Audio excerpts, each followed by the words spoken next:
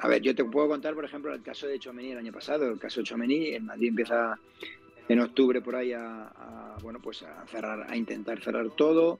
Hay un mediano acuerdo con él, pero bueno, todo pendiente un poco de Mbappé. El Madrid, él ve dudas en el Madrid y en marzo mira un poco a la Premier, ¿no? Porque tiene muy buenas ofertas de la Premier y en marzo es cuando duda, pero luego esas dudas se, se, se disipan completamente.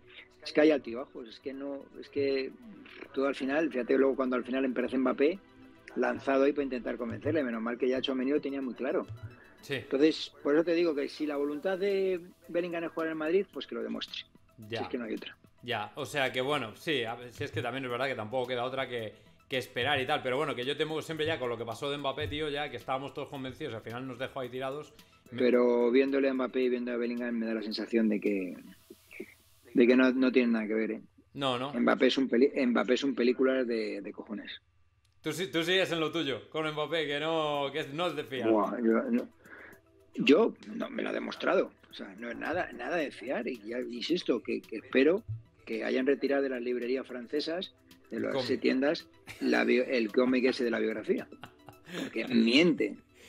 Como ven, yo te digo, tío, como venga Mbappé al Madrid vas a ser el único esperando el combate de béisbol en la presentación. No, tampoco es eso, tampoco es eso, tampoco es eso. Aquí lo bueno de todo, lo bueno de la vida es que da oportunidades a todos. ¿eh? Mira, yo empecé, por ejemplo, mi relación con Figo eh, casi pegándonos cuando todavía no había fichado por el Madrid y quito la cámara a, mi compañera Beatriz, a Bea, que venía conmigo a hacer a captarle, que le pillamos y luego somos grandes amigos. O sea que aquí hay, tiempo, para todo. Ir a cazarle ahí en, esos momentos te la jugaste, ¿eh?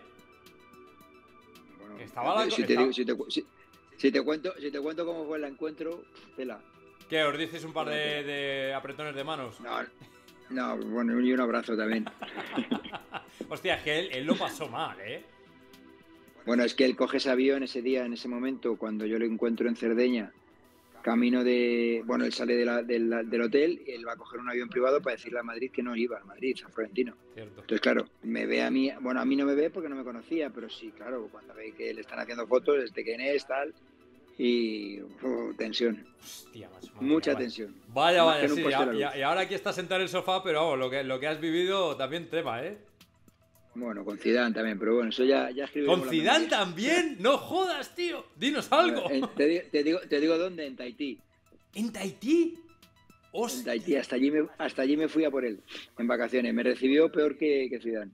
Me mandó a Don Maurice, ahí de la, del, hotel, a que me largaran de ahí. Bueno, bueno, eso ya, ya lo contaremos, ya lo contaremos otro día. Pero, pero ahora todo bien, ¿o, no? Sí, sí, bueno, ahora es verdad que se distancia un poco de todo que los últimos meses de Zidane en el Madrid fueron un poco tormentosos y, buscaba culpables a todo y, bueno, pues oye, nosotros teníamos que contar lo que pasaba, ¿no? Ni más ni menos. Él, terminó quemadillo con el tema de, la comunicación entre el Real Madrid y el periodismo, ¿verdad?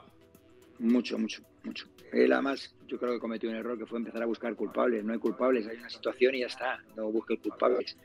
Es así.